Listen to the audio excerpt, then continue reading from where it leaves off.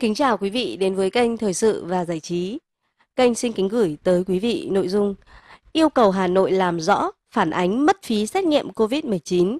Nguồn tin tổng hợp, sau đây là nội dung chi tiết. Phó Thủ tướng Vũ Đức Đam chỉ đạo Bộ Y tế và Ủy ban Nhân dân thành phố Hà Nội xem xét thông tin phản ánh về việc thanh toán chi phí xét nghiệm COVID-19. Trước đó, Văn phòng Chính phủ nhận được thông tin phản ánh theo quy định. Với bệnh nhân phải xét nghiệm COVID-19 theo chỉ định, các chi phí xét nghiệm, điều trị COVID-19 đều do ngân sách nhà nước chi trả. Tuy nhiên, hiện vẫn có không ít trường hợp bệnh nhân chưa biết có mắc COVID-19 hay không khi tới một số bệnh viện trên địa bàn thành phố Hà Nội để điều trị phải xét nghiệm COVID-19 theo chỉ định và phải thanh toán chi phí xét nghiệm. Về việc này, Phó Thủ tướng Vũ Đức Đam đã chỉ đạo Bộ Y tế, Ủy ban Nhân dân thành phố Hà Nội xem xét, có thông tin rõ ràng, minh bạch về các quy định của pháp luật.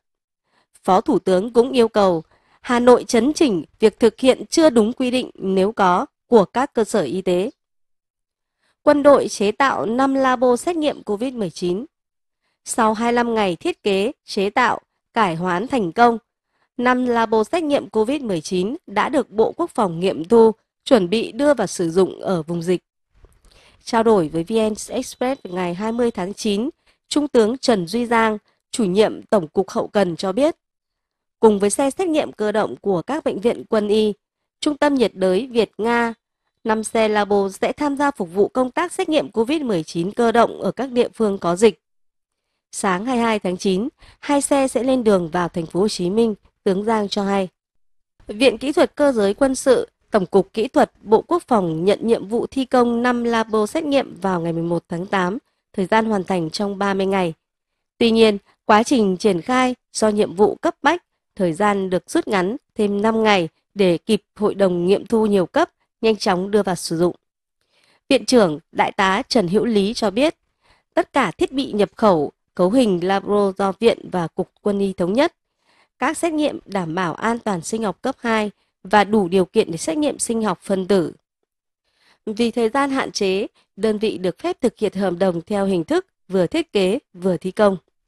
Ba đầu mối cùng thực hiện nhiệm vụ là phòng ô tô quân sự, phụ trách thiết kế, trung tâm ứng dụng khoa học công nghệ cơ giới, phối hợp cùng đối tác liên doanh để mua sắm thiết bị, và xưởng chế thử đảm nhiệm khâu gia công sản xuất. Mỗi hạng mục thiết kế hoàn thành, Trung tâm ứng dụng khoa học công nghệ cơ giới và xưởng chế thử sẽ phối hợp triển khai ngay. Trong điều kiện COVID-19 diễn biến phức tạp, chúng tôi phải làm việc ba tại chỗ. Lực lượng được chia thành các tổ và các ca để xưởng hoạt động liên tục, không ngừng nghỉ, làm đến đâu, nghiệm thu đến đấy. Mỗi lần xét nghiệm trên một labo tự động 96 mẫu đơn, nếu mẫu gộp 10 sẽ được 960 mẫu. Mỗi lô xét nghiệm mất khoảng 3 giờ.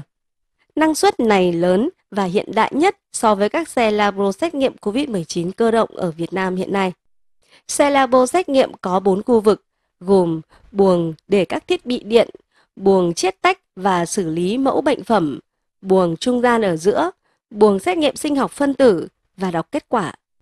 Các buồng chuyên dùng được lắp thiết bị hiện đại như tủ an toàn sinh học cấp 2, tủ bảo quản, máy ly tâm, tủ lạnh âm, máy real-time PCR, buồng chiết tách là buồng áp lực âm đảm bảo virus từ mẫu không truyền ra môi trường.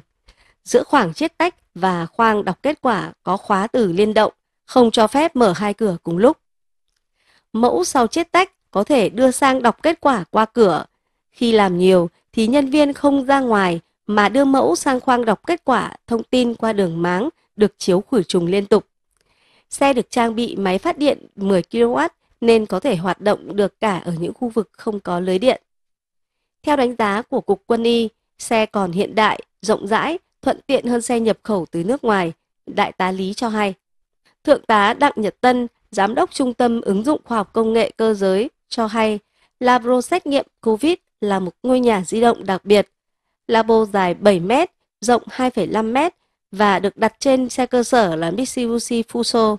Sát vách của labo xét nghiệm được thiết kế dày 5 cm, gồm 5 lớp vật liệu. Độ dày của vỏ labo đảm bảo chắc chắn khi xe cơ động dài ngày, đồng thời có thể tích hợp các loại đường ống dẫn nước, dây điện. thiết bị lọc khí mà không bị không khí môi trường xâm nhập. Đặc biệt, labo này có máy tạo áp lực âm, thân xe được thiết kế thích hợp thùng đựng nước sạch và nước thải bằng inox, máy phát điện, hệ thống nạp bình ắc quy dự phòng và có chỗ lấy điện lưới cấp cho labo hoạt động. Xe còn có 4 chân voi để đỡ toàn bộ labo, giảm tải cho lốp và giữ cân bằng. Nước thải trong quá trình sử dụng sẽ được lọc bằng các thiết bị hiện đại và có thể đưa ra ngoài hệ thống ống van và xả. Anh Tân cho biết, đến kiểm tra sản phẩm sau khi đo kiểm bằng các thiết bị chuyên dùng, các chuyên gia Bộ Y tế đã khẳng định thông số của 5 chiếc xe labo này đều đạt và vượt tiêu chuẩn khắt khe do WHO ban hành. Kính thưa quý vị, vừa rồi là nội dung yêu cầu Hà Nội làm rõ phản ánh mất phí xét nghiệm COVID-19 và quân đội chế tạo 5 xe labo xét nghiệm COVID-19 đến đây là kết thúc. Trân trọng cảm ơn quý vị đã theo dõi. Xin kính chào tạm biệt. Xin hẹn gặp lại quý vị trong những nội dung sau.